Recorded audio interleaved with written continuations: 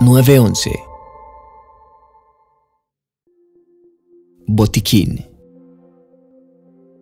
Hola, bienvenidos a este módulo Botiquín. Aquí podrás aprender cómo preparar tu botiquín de emergencias de acuerdo a las circunstancias particulares que usted puede tener. Yo decido clasificar el botiquín por el lugar donde usted está. ¿Qué botiquín debo tener de acuerdo a las circunstancias particulares? Por un lado, el lugar donde estoy y por el otro lado, el nivel de preparación que yo tengo como auxiliador. Absolutamente todo lo que va en el botiquín debe ser probable que yo utilice. Yo en mi botiquín en mi casa tengo los medicamentos que normalmente debo usar. En la legislación en muchísimas partes, en muchísimos países, no permiten que dentro de los botiquines, sobre todo a nivel empresarial, vayan medicamentos y eso está bien. Sin embargo, en su botiquín de su hogar, yo le recomiendo que tengan los medicamentos que utilice usted y su familia. Por ejemplo, se van de familia a una salida de campo, se le acaba el inhalador a la persona que tiene esa condición de asma. ¿Qué crees que va a pasar? Están en el campo, no tienen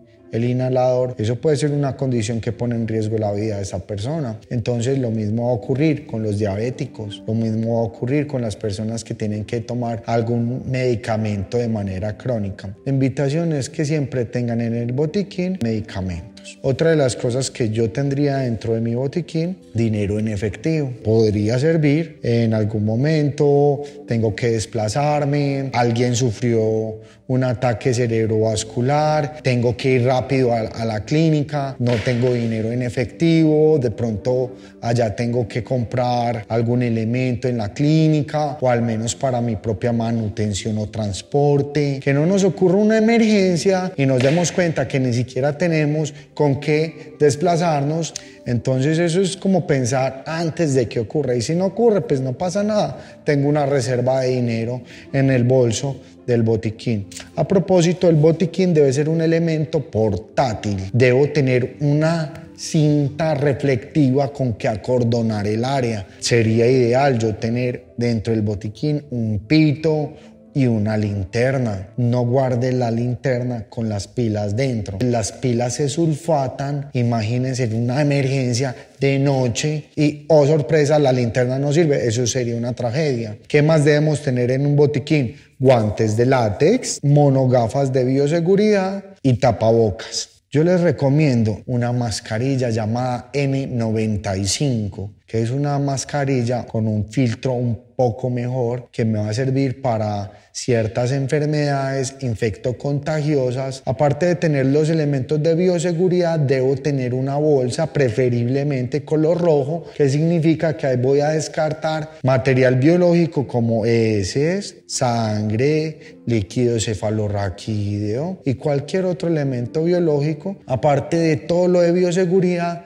debemos tener ya por sistemas. Lo primero sería la A, vía aérea despejada con control de la columna cervical. Puedes tener una, un collar cervical graduable, una mascarilla de ventilación, una cánula orofaringea para hacer la A y la B, que sería buena respiración. Pinza McGill, que es para sacar los cuerpos extraños. Laringoscopio, para hacer vía aérea avanzada.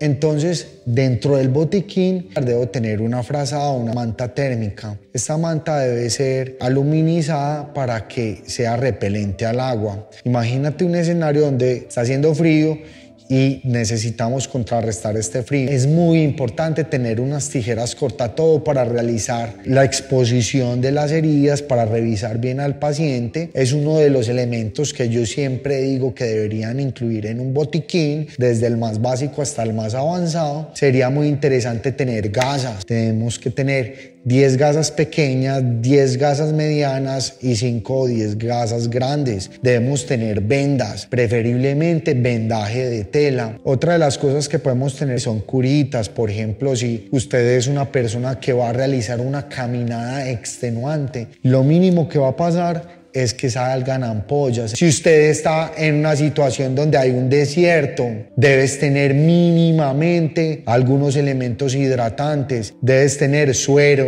debes tener agua, alcohol. De acuerdo a las necesidades particulares que usted tiene, usted decide cuál es el botiquín que se acerca más a sus necesidades particulares. No es lo mismo tener un botiquín de alta montaña que tener un botiquín para una guardería. No es lo mismo tener un botiquín en un gimnasio que tener un botiquín en una empresa. Si usted desea obtener un botiquín a la medida, nos puedes escribir acá abajo, donde podrás acceder a nuestros botiquines personalizados. Con esto hemos concluido la lección sobre botiquines de emergencia.